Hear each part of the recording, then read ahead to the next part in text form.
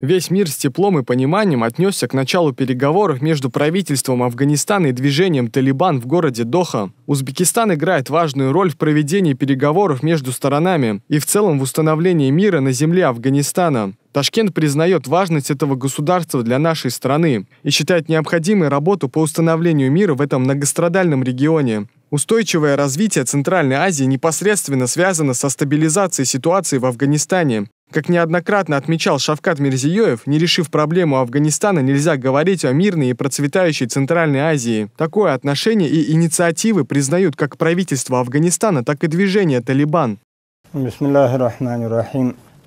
Э, Нам хорошо известно, что Узбекистан в качестве приоритета внешней политики рассматривает установление мира в Афганистане. В феврале этого года в Дохе мы также обменивались мнениями по положительному решению афганской проблемы с министром иностранных дел Узбекистана. В рамках мирных переговоров мы также посещали Узбекистан и провели ряд встреч.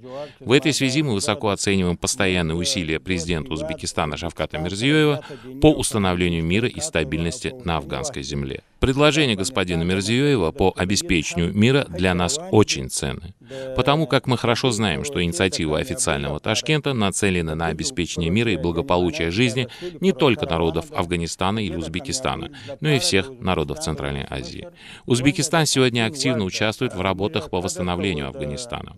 Заслуживают внимания такие крупные проекты, инициированные Узбекистаном, как строительство железной дороги Мазари-Шариф, Кабул, Пешавар, прокладка линий электропередач Сурхан, Пулихумри.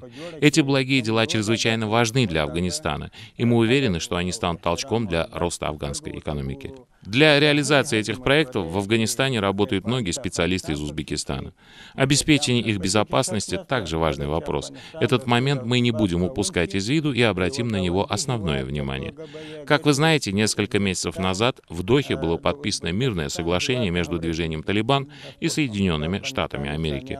Уже этот шаг свидетельствует о том, что движение «Талибан» — сторонник мира. Мы, разумеется, выполним условия соглашения. С этой точки зрения можно сказать, что в будущем мы мы не допустим возникновения угрозы опасности со стороны Афганистана, Узбекистану или другим странам Центральной Азии. Я уверен в дальнейшем укреплении добрососедских связей с Узбекистаном. Теплые и искренние отношения будут служить стабильности обеих стран. Хочу особо подчеркнуть, в будущем на афганской земле мы не допустим существования радикально настроенных групп и организаций, террористических групп. В мирном соглашении есть обязательства не только Талибан, но и американской стороны. Официальный Вашингтон должен вывести войска войска из Афганистана. Как только военные покинут страну, мы превратим Афганистан в мирный и благополучный дом. Достигнем того, чтобы в стране властвовала стабильность. Не секрет, что в последние годы из-за военных действий в Афганистане наблюдались разрушения. Жизнь афганского народа вышла из своего русла. Поэтому мы ценим помощь соседних государств, в частности Узбекистана, одной из крупных стран Центральной Азии, в преодолении последствий войны.